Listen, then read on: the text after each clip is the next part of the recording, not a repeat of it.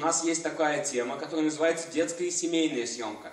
Ну, для меня это было одно из главнейших заня... э, занятий. Почему? Потому что я снимаю детей, а с детьми там все вообще по-особенному ну, а нужно делать. И вот наша прекрасная, очаровательная модель позирует мне, а все вот там снимают, собственно.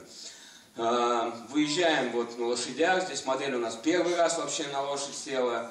Э, мы тут с отражателями и так далее. Просто мы хотим, чтобы после обучения у учеников оставались очень хорошие, качественные снимки в портфолио.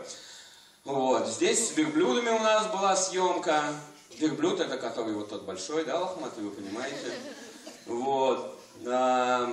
Было, снимали Love Story, это такая стилизация под английскую охоту с собаками, все дела, в лесу, в общем, было очень прикольно. Мне больше всего нравилось снимать собак, если честно.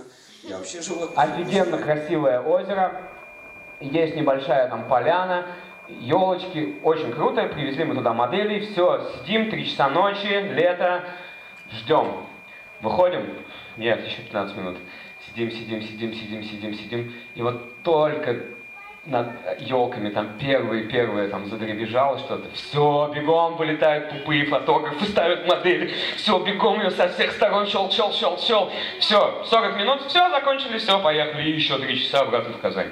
Вот. Да, мы ищем, э, мы ищем свет. И именно тогда получаются хорошие, клевые, качественные снимки. Дискомфорт, да?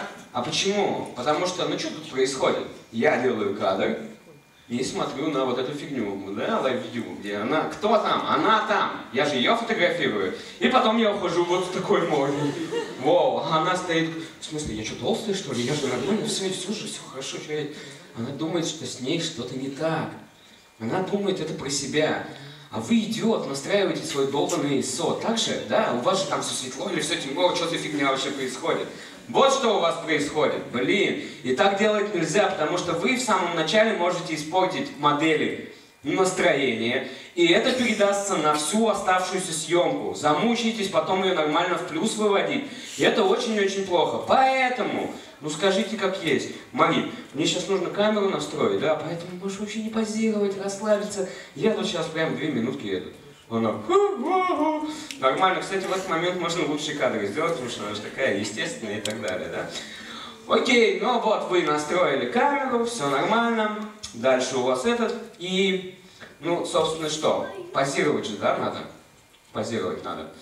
И покажи мне, Марин, пожалуйста, страсть. Покажи мне тигрицу. Покажи мне ужас. Вот это чё, чё заебил? Типа, чисто фигня вообще.